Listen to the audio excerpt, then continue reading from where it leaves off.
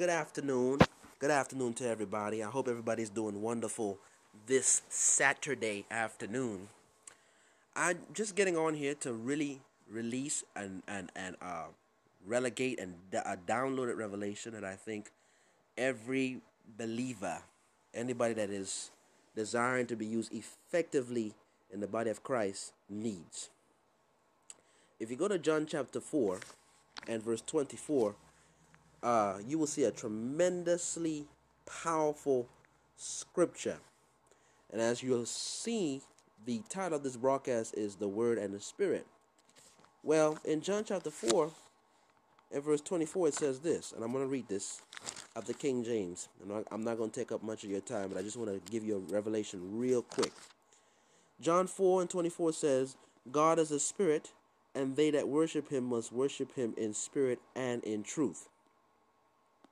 The first thing that we get out of that is God is a spirit being. Okay? We know that we are spirit beings. We are spirit beings, we have a soul, and we live in this body. This is not the real us. We live in this body as spirit beings and we have souls, but this body, when it leaves, the real us, when this body dies, the real us leaves. Okay? And depending on who we gave our soul to depends on our destination, if it's going to be heaven or hell. But God is a spirit, and just like God, we are a spirit. So they that worship God must worship him in spirit and in truth. So that means that we can't worship God out of a fleshly perspective. We have to worship God out of a spiritual perspective. But notice that it says spirit and truth, which means that it's not just enough to worship him out of your spirit, man, but you have to worship him out of truth. Well, what is the truth? The truth is the word of God. If you go to John chapter 17, if you go to John chapter 17, you see that the word truth clearly defined as the word of God within the prayer of Jesus. If you look at verse 17, it says this Sanctify them through thy truth, thy word is truth. So, the way that we worship God is through spirit and truth, or the word. So that means that it's very important when you worship God to have a complete combination of the spirit and the truth. The spirit of God represents uh, prayer, represents the anointing, represents the, the realms of glory, uh, worship, adoration, praise, all that is uh, included within a spirit worship. But then you have truth worship or the word worship, which is based off of confession, med- meditation, obedience to the word of God, uh, reflection on the word of God, teaching on the word of God, uh, and abiding in the word of God. And that is more so a consciously based, uh, oriented type worship. When you combine the word and the spirit of God, then you get an explosion you get an explosion.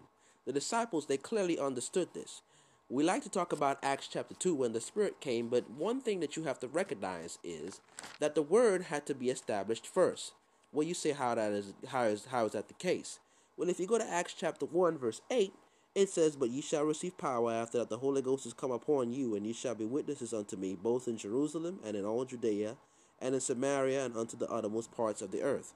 We see that the promise of the Holy Spirit is given. But once the promise of the Holy Spirit is given, the disciples understood that it must be, must be very important for us to foundationalize this promise and give this promise a landing strip to land on. See, the Spirit of God needs a landing strip, and the landing strip that the Spirit of God needs is the Word. This is why one cannot go without the other. If you read on to this, it says in verse 13 uh, of the same chapter, verse 1 uh, these all continue in one accord in prayer and supplication with the women and Mary, the mother of Jesus, with his brethren. So they were in prayer. They were in prayer. And um, I forgot what it said, but um, let's see, let's see, let's see. There's a scripture that also indicated that not only were they in prayer, but they actually were also in the practice of actually reading the word and the scripture is being explained. And for some reason, I can't find that scripture. I want to say it's in Luke. Just give me a minute, real quick. But I want to show you here that uh, their worship level was not just praying and trying to engage or gauge the spirit, but they also made sure that they utilized the word of God as a mechanism and as the method and as the main foundation upon which and by which their worship was based. Because they understood that the only way that the Spirit of God can come in its fullness and in the reality of who He is is based off of the Word of God. The confession of the Word of God, the foundation of the Word of God, and the release and manifestation of God's blessed Word. Um, let's see, let's see, let's see. I believe is in. I'm gonna look at Luke 24 real quick, and be able to see if this is where. Uh, yes, thank you, Holy Spirit. Verse 27. And actually, Jesus did this. Jesus did this. The word was established through Jesus. Here's what it says. Uh, I believe this is no, no, no. That's not it. I'm sorry. Uh, verse 45. Jesus appeared to him. Then he opened, then opened he their understanding that they might understand the scriptures. Okay, so the foundation of before anything happened, before he even made the promise of you're going to receive the Holy Ghost in Luke chapter 24, verse 45, was the scriptures. Once the scriptures was done, the promise was made, and now the foundation of the word was laid. Now all they had to do was pray. Once they prayed, that's when in Acts chapter 2, the Bible talks about, and when the day of Pentecost was come, uh, uh, uh, uh, suddenly heard a sound from as a rushing mighty wind came from heaven, filled the whole house with they were saying, cloven tongues of fire, smoking tongues as the Spirit gave utterance. So, what am I saying? I am saying that this is the way that you get to God's presence. You never start off your worship without a word base. Because if you start off your worship without a word base, then you're going to pray amiss. You're going to pray wrong. You're going to pray out of your emotions and out of your flesh. Everything that you do must have a basis and a background and a foundation in the Word of God. Once the Word of God has become that basis and that background and the foundation and the plumb line, then the Spirit of God has an area and has a realm and has a dimension and has a, a, a, place, a room to be able to come and dwell. Okay, okay. The Word became flesh and dwelt among us. Okay, yes, we see that in John chapter 1. We can go to John chapter 1. We'll see it in the life of Jesus.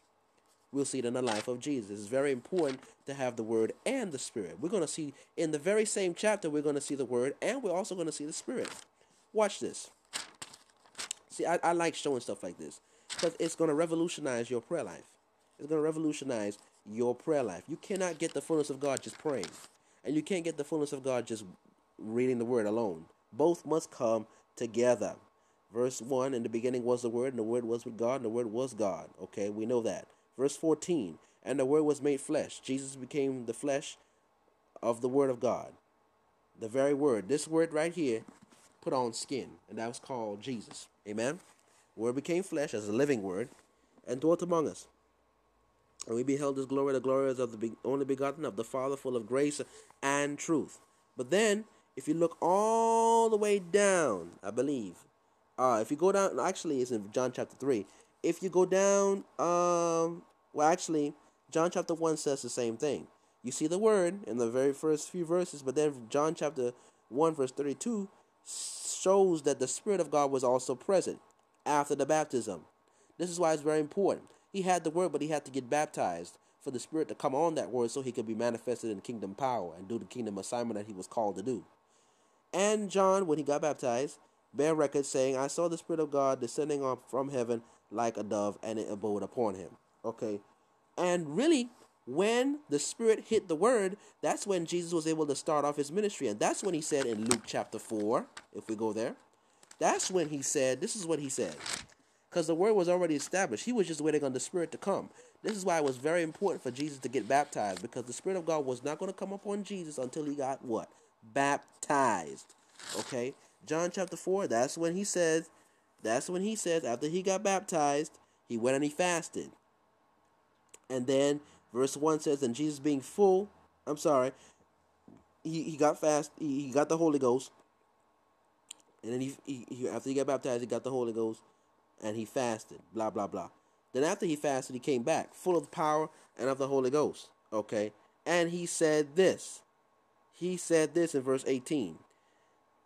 Before I go there, the first verse of uh, chapter 4, and Jesus being full of the Holy Ghost returned from the Jordan and was led by the Spirit into the wilderness. So now we see in John 1 where he's the Word, then we see after the baptism, then he's the Spirit. John saw the Spirit descending upon him like a dove. He went on fast, after he went on a fast, he came back. And then he stated, because now the Word and the Spirit has come together. Now he's walking in power. Now he's anointed. The word and the spirit has produced an anointing. And he declares, The spirit of the Lord is upon me because what?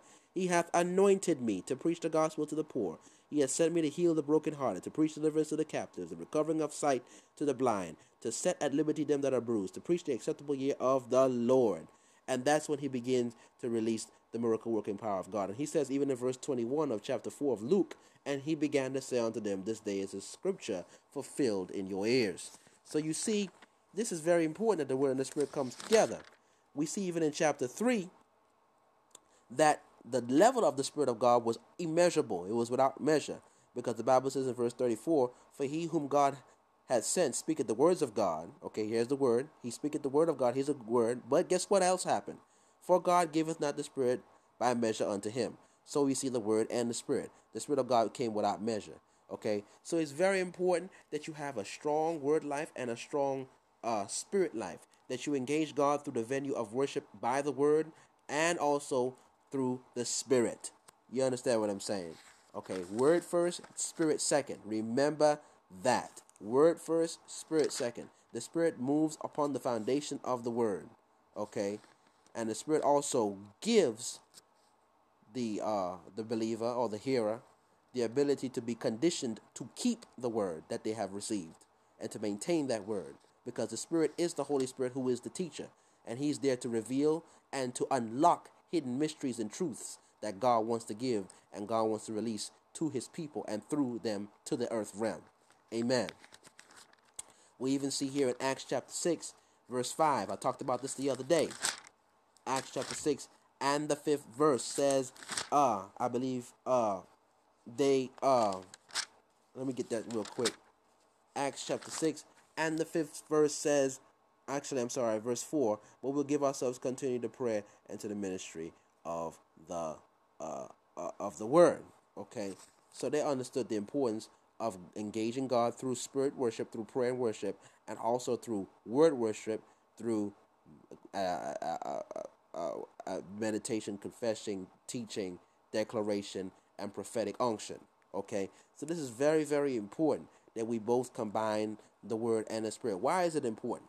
There is two camps in the body of Christ. You have churches that just focus only on the word of God, and they are excellent at teaching the word of God. They're excellent at at, at, at, uh, at declaring the word of God, and they're commonly known as word word of faith churches. Not generally stigmatizing the word of faith movement, but a lot of those churches, their main uh, uh, uh, focus and their mo- their main motivation is just teaching the word of God, understanding Greek, Hebrew, exposition, exegeting, not trying to eisegete, understanding homiletics and homiletics, understanding the dispensations of time, understanding scriptural prophetic patterns and tapestries and cycles, understanding the background, historical culture, understanding uh, what applications the word has for today, then you have all the way on the other side, you have the spirit churches that all they are worried about is the spirit. They are very obsessed with tongues and the glory. They understand dimensions and portals. They understand supernatural acts, manifestations, miracles, uh, signs and wonders, creative miracles, the glory of God, the attributes of the Spirit of God, the realm of the Spirit, the demonic kingdom, witchcraft, fighting it, uh, combating spiritual back, badness, spiritual warfare, all these different things they understood. But what the Spirit of God wants us to do is to combine that and that and bring it together.